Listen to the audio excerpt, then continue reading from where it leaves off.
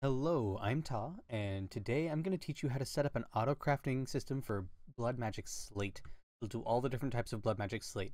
Now, I've seen uh, a few places that have used systems of buffer chests where it has, like, once one buffer chest gets full of uh, blank slate, then it'll start pulling the reinforced slate because it can't pull any more blank slate, and it'll keep doing that to fill up all the chests. Um, so that takes up a lot of resources, and uh, I think it's cooler to have on-demand crafting, which is what we're going to have here. Um, so the way it's going to work is like this. If I say want some reinforced slate, the tier 2 slate, request that, it's going to send up my stone into here. This will be then converted into blank slate, be pulled back into the system, um, and go back into the ME, be pulled out again in order to be used to create my reinforced slate, which will then be converted and pulled out of there, put right back to the ME system Right there. Now we have our reinforced slate. Uh, it's that simple. This is the contraption that we're using. it looks a bit cumbersome, but it's fairly small and compact. Um, and I'm going to show you how to build this now. So let's go and check that out. So this crafting system revolves around the idea of what I like to call surrogate blocks or indicator blocks. If I want to craft some blank slate I'm going to send in stone to the altar, but I'm also going to send in a block of wood. I've chosen block of wood. You can choose whatever you want for your uh, indicator blocks. I've chosen these ones just because they're really easy to tell apart. So blank slate, I'm going to send in the stone and a piece of wood. And the piece of wood is going to tell the system that what I'm expecting is blank slate. If I want to make some reinforced slate, I'm going to send in iron instead of wood, and that'll tell me not to pull anything out of the altar until it sees reinforced slate. So that's how these indicator blocks are going to be used. It's going to tell us, it's going to indicate what kind of block it wants to pull out. Now, in the patterns that I'm going to be making, I'll be using stone with uh, wooden indicator block to get blank slate, but then I'm going to be using blank slate with an iron indicator block to get um, reinforced slate. So you could do it by using stone with an iron block to get reinforced slate, in which case you'll use a brand new piece of stone and it will go through from stone to blank slate and from blank slate to reinforced slate. Um, what that means is if you already have some blank slate in your ME system, it's not going to use that up to create the reinforced slate. It's going to start a brand new piece of stone. Now, some people, they prefer that because they want to keep that blank slate they already had. For other people, it's a waste of resources because oh, I was never going to use that blank slate anyway. You can choose however you want to do your patterns, but I'm going to be doing mine in that system like that. So we're going to get started with the first circuit. We're going to start with some the red circuit. Um, this is going to be done, we're going to start with a storage bus on the bottom of the altar. Now, this doesn't need to be on the bottom. It could actually be any side of it. I like it on the bottom because I feel like it makes the whole thing look cleaner. You know, you can, uh, you don't have to have a lot of things all over the top of your altar. It makes it look still nice and neat, and the entire system is hidden. Um, if you already have things underneath, like maybe a well of suffering underneath the altar, you can pull that from any other side. So we'll start with this, and we'll add five export buses onto the end of this. From the middle one, we're going to pull out um, another piece of cable.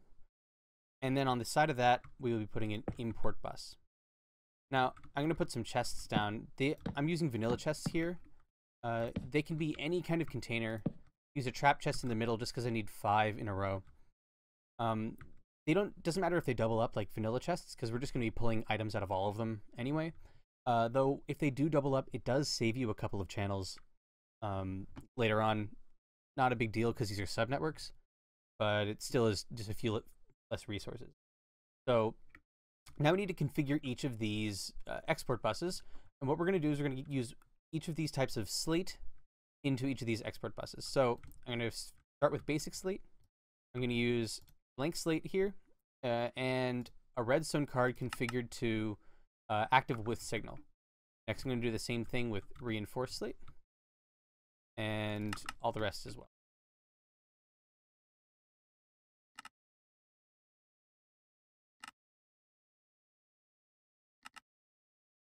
Okay, so we've got all the pieces of slate in there. Everything is all configured properly. And uh, now if we were to put an item in here and it would come up to there, if we put a piece of stone in there, it would be pulled out, put in the altar, and then sucked up once we got a piece of basic slate, uh, provided that we had a redstone signal. So now we need to provide redstone signals to each of these depending on what kind of slate we want. And we'll be using the next circuit for that. All right, for the blue circuit, we're going to start by putting a piece of cable on top of this one that we had sticking out here, and a toggle bus on the end of that. Now we want to make sure these systems are connected with some power, so we're going to use a piece of uh, quartz fiber to provide power without making the channels combine. Um, and then we will be placing cable on top of all of these where the export buses are, and level emitters on the bottom of each of these. So this will let us individually turn on or off these export buses. Now, these level emitters need to be configured to the surrogate items, the indicator items, for each of the corresponding types of slate. So in here I have the blank slate, um, so I need to make sure that I use the surrogate item for blank slate. I'm going to put that in there uh, at a level of 1. Now if I have one item in whatever this channel can see as its inventory, uh, it'll turn on this redstone signal. I'm going to do the same thing uh, for iron and make sure that, again, it has to align with the type of slate that you have in the export bus.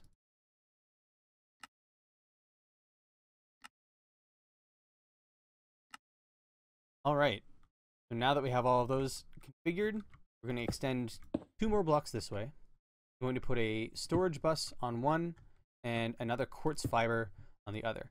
And here we're going to have our interface. This is where we're going to connect to the rest of our ME system. And this one, we're going to put a dropper facing downward, a vanilla dropper. Now, I'm going to just connect this up to my makeshift ME system that I have over here. Uh, so we can now see as it lights up all the channels that are on these. You notice that these channels are lit up because we have all the export buses and the storage uh, bus. But on here, we only have one channel lit up. It's for this storage bus even though we have all these level emitters, that's because this toggle bus turns off all of these channels unless we provide it with a redstone signal.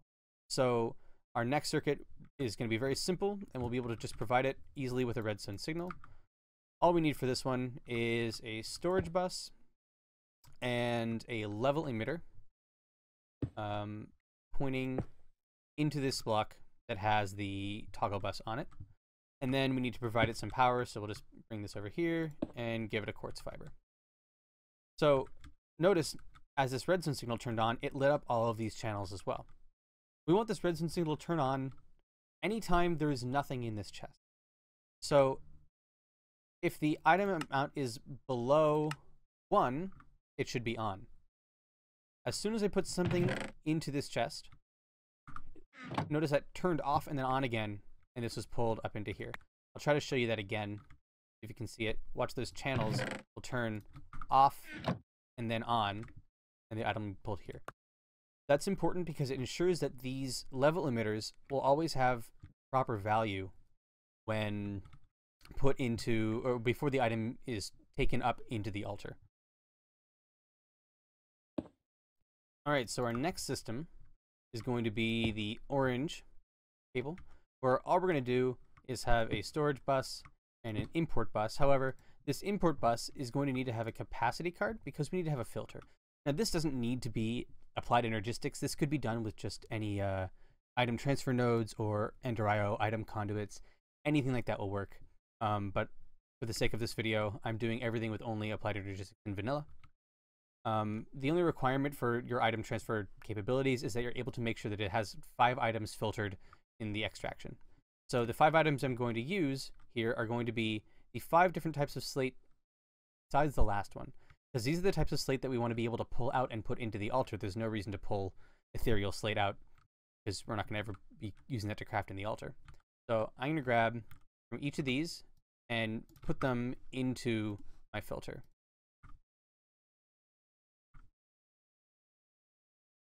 So now that all these items are filtered out, I can demonstrate how this works. If I put in a piece of wood, it won't be pulled out because it's not filtered. But if I put in a piece of stone, it's going to pull it out and put it up here. And now, because there's wood in there, it turned on this export bus. So now that that is crafted into a blank slate. It will pull out the blank slate and put it in here. That's perfect. That's exactly what we need. Now we need to pull out the items from these chests um, so we can get them back into the ME system because now this is what we wanted. We wanted our blank slate. All right, so pulling these items out is going to be pretty easy. All we need to do is put some import buses on the bottoms of these. Remember how I said it'll save you some channels? If these were all individual, you would need five import buses, but because they combine, I only need three. That's the only difference. There's nothing super crazy about it. It's pretty cheap to make two extra import buses, so don't worry about that. I'm going to now extend this line out of here and make sure that it provides power by connecting it to uh, the red line. And I'm going to put a storage bus on here. Uh, pull this over one more and a level emitter so it's right next to where the dropper is. Now I'm going to put a solid block of any kind on top of there. And notice that it drops out the piece of wood that I had in there. Actually, I'm going to put that back in so we can see that it happen again. Um, but I want to make sure that I do this with this configured. I want to make sure I have at least one item in my storage, which will be this chest here. Now you will see almost immediately, um, it's going to pull the item out when I put this chest down, because there'll be a place to put it, and it will drop that wood out there. So now that we have our blank slate in there, it was able to drop that single piece of wood. Uh, there's a reason why this has to be a dropper instead of like an import bus. I'll talk more about that at the end of the video. So now that we have this block on here, it's going to allow us to disperse redstone to both directions at once. Um, but first, let's take care of this block that's falling into the abyss. Um, this is pretty simple. We're just going to be using a very small circuit here. Whoops, not yet. Um, of just a uh, storage bus and import bus. Pull items out of the system. I'll just power it like this. Please don't use AE2 for this it's way better to just use a single item transfer node or IO Ender IO conduits or anything like that. Um, this is ridiculously overkill for doing this kind of thing. Um, but again, AE2 only. So uh, this will now allow us to pump this piece of wood uh, out of the dropper, which I think we already did, into this chest. Oh, I, sorry, I didn't put it back in there. Okay, so if I take this out, put it back, It'll now come out of the dropper into this chest, be imported from the chest into the system. We should be able to see it. There it is in our ME system. Great. We don't need that anymore. Um, and then lastly, we need to be able to pull this piece of blank slate out and put that into the ME system as well. So for that, again, very simple setup. We just need to have an import bus, storage bus, and connect all the lines here, give it some power, and we want to ensure it's already pulled the item out. We want to make sure that this only activates with a redstone pulse that comes from this level emitter. So what that's going to do is say, once it sees an item in here, and only once it's registered in there, it will set up a pulse to make sure that the the surrogate block is dropped out of the, uh, the dropper first, and then it also allows this item to be pulled away. But that makes sure that it doesn't ever skip if it sees that item and if it goes through too fast or something and the level emitter doesn't update, we're never going to accidentally miss that and keep the item in the dropper.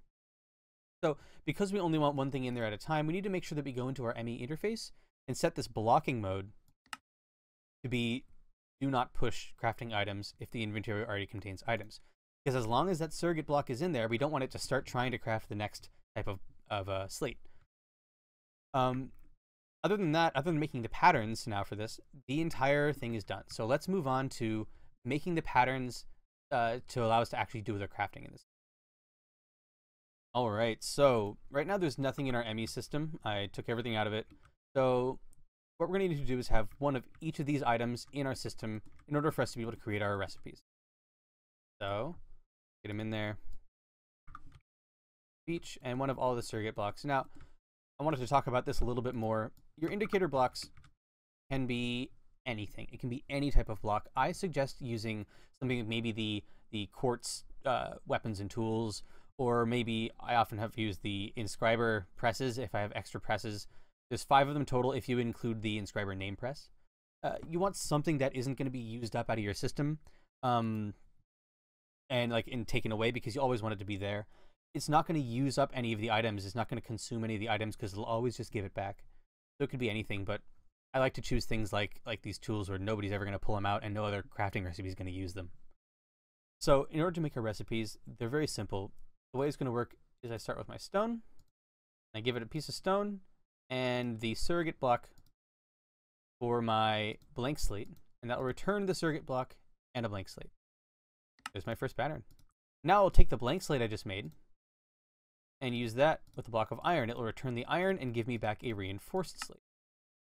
Take my reinforced slate that I just made, take a block of gold, and that will give me imbued slate, but it'll give me the gold back as well. And then I'll take this imbued slate and a block of diamond. That will give me demonic slate. And lastly, I'll take my demonic slate, block of emerald. That will give me my ethereal slate. These are all of my patterns all put together. I can just toss them directly into my interface. Now you'll notice that some of them show that they're making the um, surrogate block and some of them show that they're making the uh, actual item itself, the slate. You'll notice that they all say creates one oakwood plank and one blank slate, creates one block of gold, one imbued slate, creates one reinforced slate, one block of iron. So they all have both of them. I'm not sure how uh, applied energistics determines which item is displayed on here. It doesn't have anything to do with the order that you put them in here. I can't figure it out. So just know that even though it shows up like that, it does it is going to work properly. Now, one thing I do want to show you is that on the craftable uh, screen, we have now um, craftable recipes for all of the surrogate blocks and all of the slate. There isn't a way to avoid this, unfortunately. So you'll just have to know that while these ones say they're craftable, they're not actually craftable from this recipe. Um, it'll be you'll have to use a different recipe if you want to make them. I would say that the best thing to do is to make sure you don't have clashing recipes for things. Make sure there are not things that would normally be craftable. Hence, something like the quartz uh, tools or the inscriber presses. Um, those would be my suggestion, but if you know how to do recipe priorities and things, then you can easily just use any blocks you want. Let's give it a shot. Let's see if it's going to work. We're going to try to make some ethereal slate with this. Uh, the one that will require to go through all the different steps. Oh, actually, hold on. Let me take out the other slate. If we already have a piece of uh, demonic slate in there, so it's just going to use that one. Um, do everything and just pull out all the slate first. And now let's craft some ethereal slate. So it should go through everything, and we'll see it go. We'll start by putting our first piece of slate in there. We'll craft that. Remember, we have a piece of wood in here. You can see it'll get pulled out, and I'll put in the next things. The surrogate block. It'll reset those, and ensure that we now have the iron triggering this one. So it'll only pull out those. It'll do the same for the next one. I'm going to go through this for all the different levels of slate.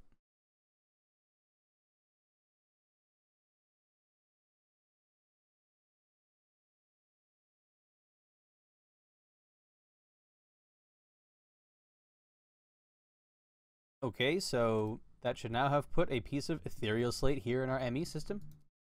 Fantastic. Uh, so everything works. That's great. So, uh, as I mentioned, there are a few places that can have um, Ender IO conduits or things like that. Uh, we have the orange cable line, which allows you, you'll have to be able to have it with a filter. The pink cable line, which requires nothing else. And also the purple line, uh, which only requires to have a redstone signal. Um, you can replace those with any kind of item transfer capabilities. I just wanted to make sure that was pointed out so that you don't have to use uh, applied six for any of those ones. The rest of them do rely on AE2 properties such as the toggle bus or um, level emitters with storage buses, things like that. The other thing I wanted to talk about before the end is why I have this toggle bus and the uh, dropper here. Now, let's start with the dropper. I originally had it set up to be one of these with both of them, an import bus uh, pulling from this chest and an import bus pulling from a chest that was here. Uh, the problem I was running into is that sometimes when the level emitter would go off, it would actually leave it on. Even after it had pulled the item out, it would leave it on for long enough that it could pull two items out of the dropper. So it would pull out the surrogate item from whatever the slate was that was crafted. The inscriber would then, or the, sorry, the interface would then put the next two pieces in there, and they would pull out one of those pieces. So it would freeze in the crafting process. So that's why I went with a dropper, which ensures that only one item is ever going to be put out for a single redstone pulse from the level emitter. And that was able to solve the problem. With the unfortunate uh, change of having to have another miniature circuit here, but that's nothing too big for that kind of a change. And the other one is with the toggle bus. Um, so the toggle bus is here because there was a thing that's it's called a race condition. It's used in uh, computer programming and computer logic circuits. Um, simply enough, in a, a circuit design or any anything where you have two signals that are going at the same time, a race condition is a situation in which uh, the output will be different. The outcome is different depending on which signal gets there first. And that's what was happening here. I was having an issue where sometimes you would put in uh, an item, you'd put in a, a, piece of stone to make a blank slate. And so it would go through, it would make the blank slate, it would light up the blank slate indicator over here, come out into the chest, and be pulled into the system. And then the piece of wood would be pulled away, and a piece of iron would be put in there. And the iron would be put in along with a piece of blank slate that we just made. But this blank slate light would still be on, so it would put the blank slate in here and immediately pull it back out. Because there was a race condition that the update of this uh, level emitter was happening after the pull from the import bus. So I added this toggle bus on here because that makes it so as soon as it sees an item enter here, it will cut all of these lines. And then when they restart again, it'll force it to double check and make sure it has the right item from this dropper. So we'll never have that race condition those are the things that were holding me back the longest while I was trying to design this because I kept on having these these issues with inconsistency that seem to be completely fixed now that I put in these. I hope this video helped. I hope those explanations made some sense. If you have any questions, please ask. If you want more videos like this, please let me know what kinds of things you'd like to see designs for. Thanks for watching.